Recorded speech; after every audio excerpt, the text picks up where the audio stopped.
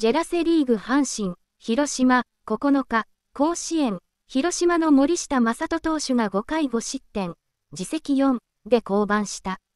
2回先頭の佐藤光に宇宙間への二塁打を許すと、ノイジーの右前打で選手点を献上。なおも1死1三塁で大竹に左翼戦二塁打を浴び、1点を奪われた。その後、1死2三塁で近本の詰まった打球が左前に落ちる不運な打球となり、2点を許した。4回1死1塁では、大竹のバントを迷わず二塁へ送球。ダブルプレーでしのいだ。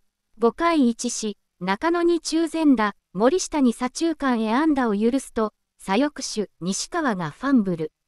1死2三塁となり、大山の3ゴロの間に追加点を挙げられた。